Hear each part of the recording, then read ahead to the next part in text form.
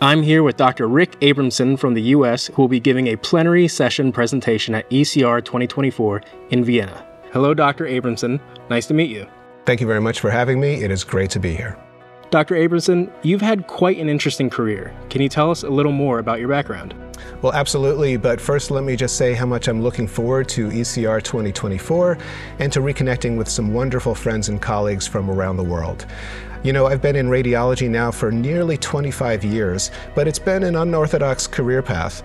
Uh, of course, I practiced clinically and was an academic researcher for several years, but I've also had some very rewarding experiences on the non-clinical side as a management consultant, as an entrepreneur, as an investor, and as a physician executive at a large US healthcare system.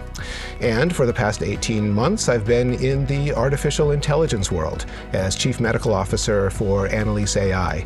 It's been a very fulfilling career to date and one that's offered the chance to look at the healthcare world from a, a number of different perspectives. Um, and I look forward to sharing some thoughts informed by those perspectives at the conference in Vienna.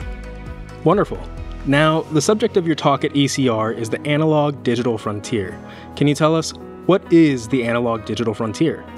Yeah, so to me, the analog digital frontier refers to that that enigmatic boundary between old and new, between manual and automated, between human and machine. It's a concept meant to capture the evolving technological landscape with all of its intersections and interactions and transitions, and all of the associated tensions and debate about whether technology is evolving in the right direction and at the right pace.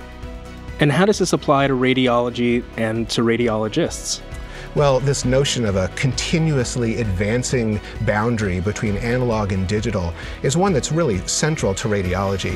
Uh, after all, radiology has traditionally been and continues to be at the very vanguard of technological change in medicine.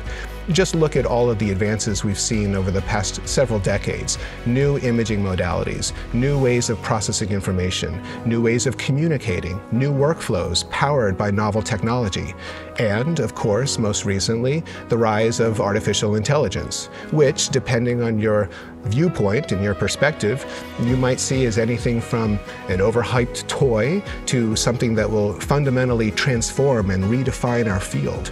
But no matter what your viewpoint on AI, I would say that the activity taking place at that analog digital frontier and the direction and pace of change, these are all critically important to radiology as a field. I think we have a lot to discuss together as a profession, and I also think that we as radiologists have some very important perspectives to share with the rest of the healthcare world. Fantastic. Can you give us a preview of your ECR talk?